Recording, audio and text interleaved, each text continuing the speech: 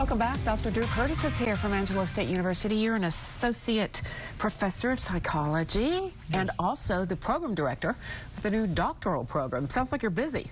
I'm busy. It's a lot of fun. Thank you Tell, for having me. You're nice to see you. Tell us first of all just about the program. You've already started it, how many students you have, and what it is. So we have a doctoral program in counseling psychology. It's a PsyD at ASU, and we have our first year of students who began this year, six of them, and uh, and we're looking to welcome our next year student, next year cohort coming this fall. What do students with doctorates in this degree do?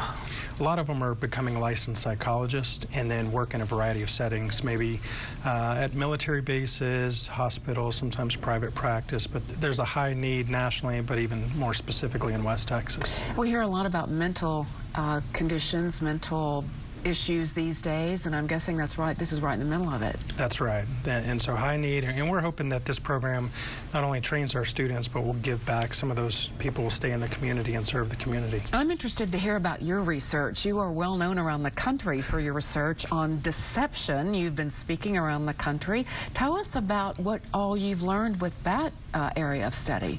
Done a lot of work on deception, specifically with pathological lying and um, looking at a clinical condition where people might tell an excessive amount of lies. And, and so my work's really looking to get get it recognized in the, the DSM, which is the book we use for di making diagnoses.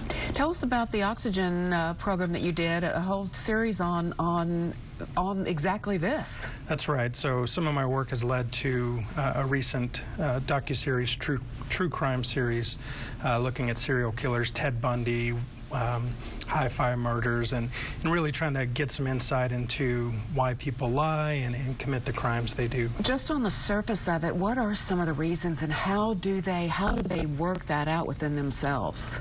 As far as serial killers or people? Well, no, no well, well, well, just let's talk about lying in general. Uh, lying serves a variety of motivations, but you know the good news is most people are honest most of the time.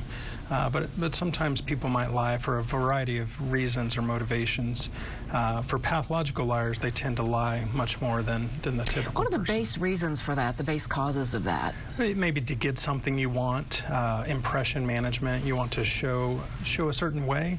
Uh, you're after something. Maybe you're avoiding some consequences that are negative. Th those are some of the general reasons. How do we as a society work to lessen that kind of an environment for people who, who may feel like they need to, to act that way? Well, that's my hope. You know, the recent uh, book I published with APA has indicated some treatments and recommendations how you can help people uh, by reinforcing honesty and helping people uh, seek out therapy and, and really get them on a path to, to overcome where their lives are problematic for them. Very interested. If yeah. somebody is interested in, in applying to be in the doctoral program, what do they need to do?